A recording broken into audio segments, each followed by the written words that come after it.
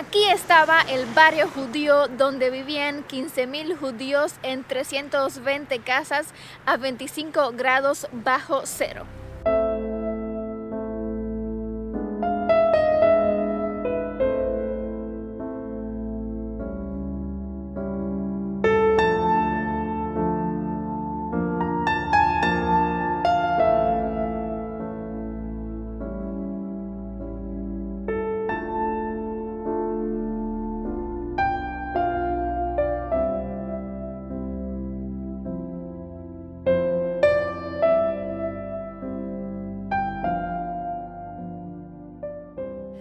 Encontramos en Polonia, exactamente en Cracovia y en esta bella ciudad en cual vamos a hablar de la Segunda Guerra Mundial.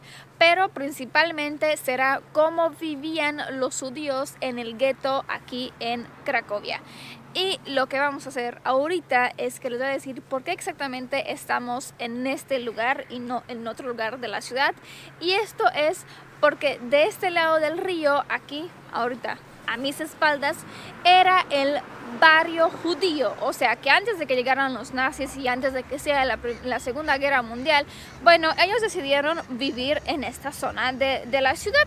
Y para que tengan realmente una idea de cuántos judíos vivían en esta ciudad, ahorita les voy a decir exactamente la cifra, y eran 68 mil judíos. O sea que en esa época representaba como el 15, el 20% de toda la población de la ciudad y tenían más o menos 150 sinagogas. O sea, sí, eran muchos, pero también la ciudad era mejor porque tenía mucho este ¿cómo, se dice? Mucho, mucha diversificación de culturas, porque por ejemplo también había este, polacos judíos, polacos católicos, polacos no sé qué, y después cuando llegaron los nazis lo que hicieron fue que los trasladaron a todos del otro lado del río, que era el gueto judío, no barrio, sino gueto y más adelante les voy a decir cuántos sobrevivieron a todo lo que es Segunda Guerra Mundial y también cuántos judíos viven hoy en día en esta ciudad. Pero por ahorita lo que vamos a hacer es irnos a otro lado de la, del río para decirles exactamente cómo los trasladaron y cuántos vivieron y qué les hicieron para poder vivir en el gueto.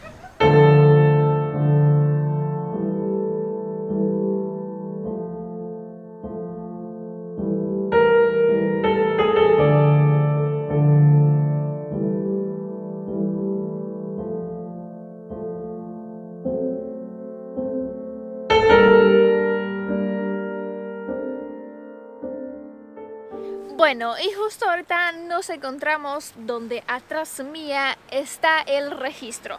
Porque sí, cuando llegaron a Alemania nazi y cuando llega pues, cualquier régimen nuevo, pues es normal que tú te vayas a registrar. Seas judío, seas lo que sea tu nación, pues te vayas a registrar. Eso no es algo sospechoso, eso es algo muy normal.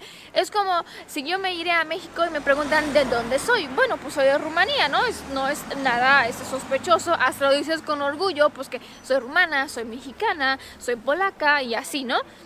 Entonces eso realmente no fue ninguna sospecha de los judíos.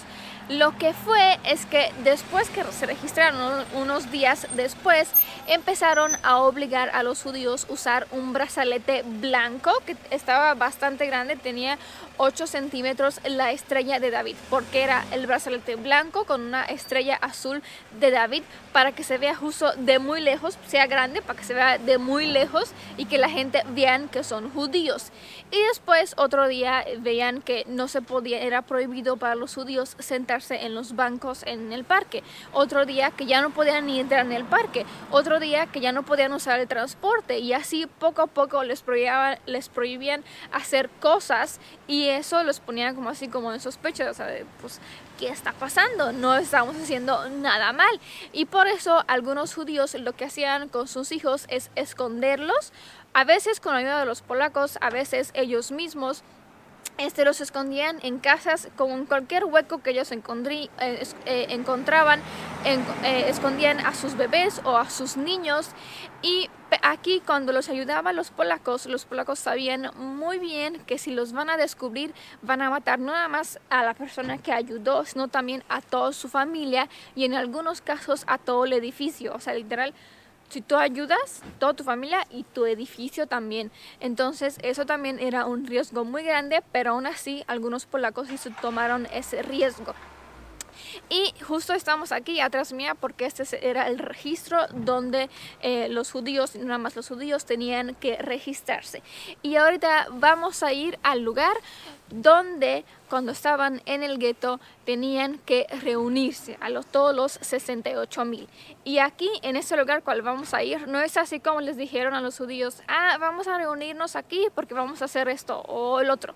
No, simplemente les dijeron, aquí nos vamos a reunir. Simplemente les daban órdenes de que aquí vamos a estar y ya. No les van a decir por qué y aunque pregunten, pues no tiene caso porque no, los van, no te van a contestar. Entonces vamos a ir a ese lugar que es poquito más para allá.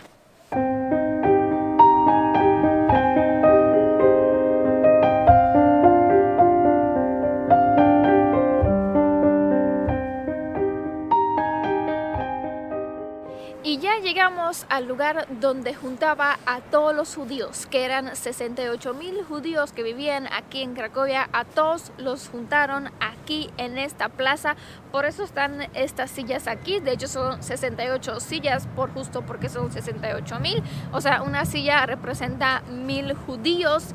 Y lo que hacían con ellos aquí eran calificarlos por aptos para trabajar y no aptos para trabajar. La fila A era aptos para trabajar, o sea, los niños empezaban a ser adultos a los 16 años, así que de los 16 para arriba y cual tenían fuerza física para trabajar eran en la fila A y en la fila B eran ancianos, niños muy chiquitos que no tenían 16 años sino menos y también mujeres embarazadas o discapacitados. Entonces los que estaban en la fila B lo que hicieron con ellos en este caso decirles fue decirles de que se vayan donde ellos quieran, pero que no se, no se vayan a vivir a ciudades grandes, sino a los pueblitos chiquitos. Pero lo que ellos hicieron es que como eran también pobres y no tenían dinero, pues no podían pagar su transporte para irse a mudarse porque estaban realmente exigiendo de que aquí no vivan. Pero si no tenían dinero, pues no podían irse. Y también algunos, como no conocían otra ciudad que no sea esta, Cracovia, entonces tampoco se fueron pero la fila A, que eran los aptos de trabajar, lo que hicieron fue que aquí en el gueto, o sea, porque justo aquí es el gueto, o sea, aquí es el gueto, los 15.000 judíos que quedaron fue obligarlos a trabajar y la regla de los alemanes nazis eran que en las casas, por ejemplo, esa casa que está atrás mía, o sea, tenían que ser tres adultos por, por una ventana. Entonces, si, un, si una habitación o un piso tenía cuatro ventanas, entonces tenían que ser 12 personas en ese piso, en esa habitación. Pero cuando empezó a hacer frío, o sea, invierno, porque aquí sí hay invierno de ese así duro, o sea, que llega a 25 bajo cero, entonces los judíos lo que hicieron fue meterse más en la habitación para que se pueda calentar así ellos con su, con su calor este, de, de cuerpo en caso que eso se podía hacer. Y de hecho en el gueto al principio no se llamaba gueto, sino se llamaba zona residencial judía. Así como al principio del video dije que del otro lado del río se llamaba zona residencial judía porque ellos decidieron vivir allí. Bueno, aquí no se llamaba gueto, aunque se eran forzados vivir en estas 320 casas pero se llamaba también zona residencial judía, lo que significa que decían ellos que si se llama igual, pues los judíos no van a pensar de que este, viven en otras condiciones eh, peores que los que vivían en libertad, porque también al principio en el gueto los dejaban salir y entrar cuando ellos querían, o sea, no, no había prohibición. Después con el tiempo sí, y después tampoco llegaba mucha comida y también después les prohibieron todo contacto con los de afuera, o sea, ya no podía recibir tampoco correo y nada, o sea, absolutamente nada. Y cuando llega el invierno, lo que hacen es meterse muchas, muchas personas en una habitación para que así se puedan calentar ellos, porque acuérdense, son los 15.000 judíos que tienen que vivir aquí en este gueto, que ellos son los aptos para trabajar. Entonces, aunque también recibían menos comida, eso no les decía no tenían derecho de no trabajar, sino de hecho lo que hacían los nazis era que cada mes, o sea, sistemáticamente cada mes, todos los judíos tenían que presentarse al registro que fuimos más allá y les decían de que tienen que recibir un sello azul porque eso significa que eres apto para trabajar, para seguir trabajando y seguir viviendo en el gueto. Bueno, si no recibías el, el, sello azul, pues o te mataban o te mandaban a un campo de exterminio. Eso tú no sabías dónde te, mandan, nada más sabías que te vas a subir a un tren y ya listo, pero no sabías exactamente dónde te van a llevar. Y lo que hacían es, eh, ellos para que realmente, o sea, imagínense, 14 horas pues trabajando todos los días con menos comida y un frío de menos 25 grados, pues obviamente pues no estás en las mejores condiciones para trabajar. Entonces, cuando cada mes les tocaba irse al registro para que ellos puedan este, recibir el sello azul, que más tarde le llamaron sello de la vida, pues lo que hacían ellos es que se cortaban y con la sangre se ponían en las mejillas para que justo parezcan como más vivos, para que vean los nazis de que aún ellos siguen pudiendo trabajar. Y después lo que hicieron es que, bueno, aquí en el gueto, porque pues el gueto es aquí donde me encuentro, aún hoy en día está el tranvía y como el gueto estaba aquí, los, eh, los polacos que pues no, no eran, vivían libremente, ellos cuando se subían al, al, tranvía pasaban por el gueto, o sea, no había ninguna estación, no te podías bajar en el gueto pero sí podías ver y de hecho al principio lo que hacían los polacos es aventarle comida por las ventanas a los, a los judíos para que puedan comer. Después ya con el tiempo les prohibieron a los polacos que hasta que miren también por las ventanas, o sea, no nada más que no le tiren comida, sino que ni miren por las ventanas.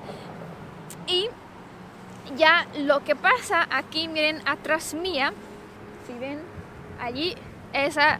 Eh, ¿cómo se llama? Ese edificio eh, gris que dice allá 1941-1943 y se preguntaron por qué son esos justo esos años si la Segunda Guerra Mundial empezó en 1939 y acabó en 1945 bueno, es que ese edificio fue las oficinas de los nazis cuando ponían eh, el, sello o simplemente oficinas porque allí eh, estaban las oficinas de algunos nazis. Y en, en ese edificio es un símbolo hoy en día porque esos son los años cual funcionaba el gueto. O sea, acuérdense, todo empezó así como eh, con, con, tiempo, o sea, no, no, llegaron los nazis y dijeron, bueno, vamos a eliminar a todos los judíos, no sé qué, o sea, eh, la raza superior y shalala, sino fue así, eh, no sé qué se dice, treptado o algo así, o sea, con, con el tiempo.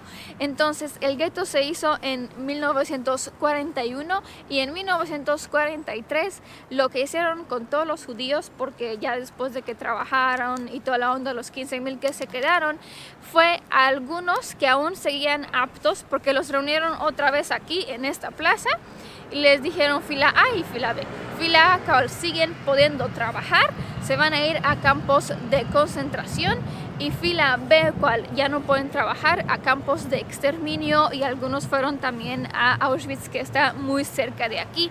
Y eso fue todo lo que pasaron con los judíos en el gueto judío de aquí de Varsovia. Y ahorita lo que vamos a ir es ir a un lugar que aún queda algo del gueto, a una pared que aún queda del gueto de esa época. Así que vamos para allá.